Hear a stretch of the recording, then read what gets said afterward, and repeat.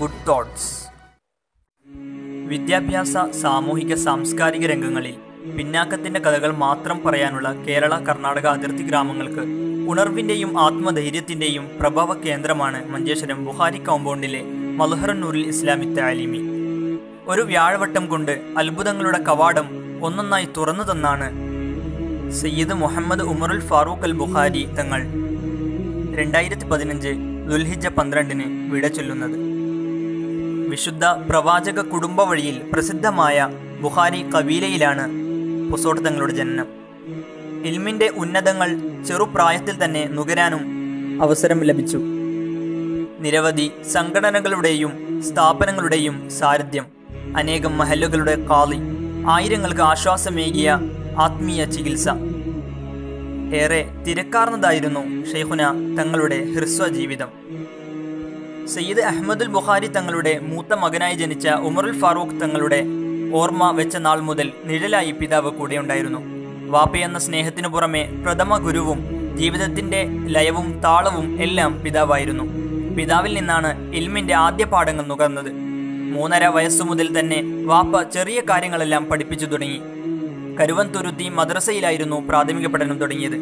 അൽഫിയയുടെ ഇരുന്നൂറ് ബൈത്തും ഫതുഹൽ മൊയ്ൻ സ്വലാത്തുൽ ജമാഅത്ത് വരെയും വാപ്പയിൽ നിന്നാണ് ഓതിയത്. പിന്നീട് ദർസിൽ ചേർന്നു.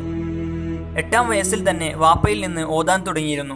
ആയിരത്തി തൊള്ളായിരത്തി എൺപത്തിയേഴിൽ റബിയുൽ അവലിൽ തങ്ങൾക്ക് ഇരുപത്തിയേഴ് വയസ്സായപ്പോഴാണ് വാപ്പ വഫാത്താകുന്നത്.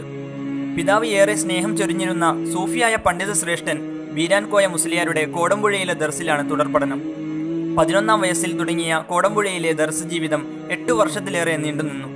വിദ്യാർത്ഥികൾക്ക് പറഞ്ഞു കൊടുക്കുന്നതിന് പകരം അവരെ ശരിക്കും മാതൃകാ ജീവിതത്തിന് പാകപ്പെടുത്തുകയായിരുന്നു ഉസ്താദ്. ഷെയ്ഖുന ഒ കെ ഉസ്താദിന്റെ ശിഷ്യനായിരുന്നു ബീരൻ കോയ ഉസ്താദ്. വെല്ലൂരിലെ ഉന്നത ബിരുദശേഷം പടിക്കോട്ടും പടിയിൽ ഒരു വർഷം ദർസ് നടത്തി.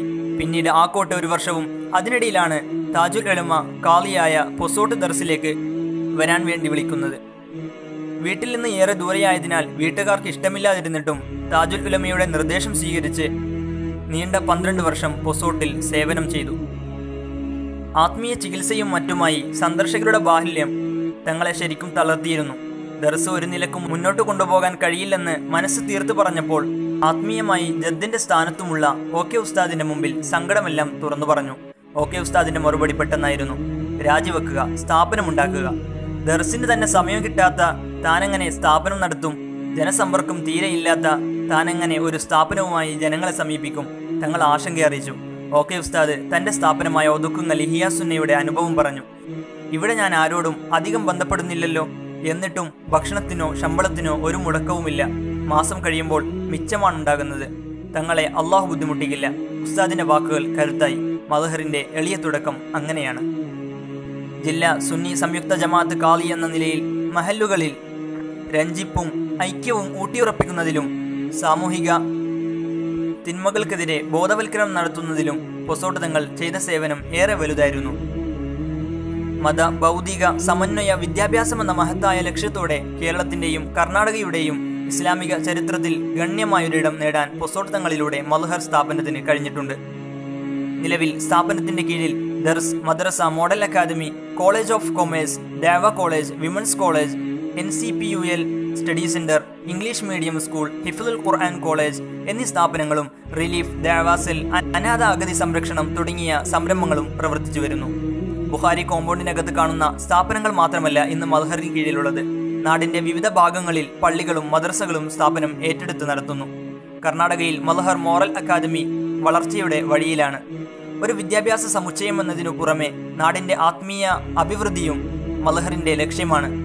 തന്റെ ജീവിതം നൽകി പടുത്തുയർത്തിയ മൽഹറിന്റെ ചാരത്തന്നെ അന്ത്യവിശ്രമത്തിനും അള്ളാഹു പുസോട്ട് തങ്ങൾക്ക് അവസരം നൽകി. ഒരു നിലയ്ക്ക് തങ്ങൾ ജീവന തുല്യം സ്നേഹിക്കുന്ന ഈ നാട്ടുകാരുടെ സൗഭാഗ്യമാണിത്. കാസർഗോഡ് മംഗലാപുരം ദേശീയപാതയിൽ കുസങ്കടിക്കും പുസോട്ടിനുമിടയിൽ ബുഹാരി കോമ്പൗണ്ടിലുള്ള തങ്ങളുടെ മക്കാമിൽ ദിനേന ആയിരങ്ങളാണ് എത്തിച്ചേരുന്നത്.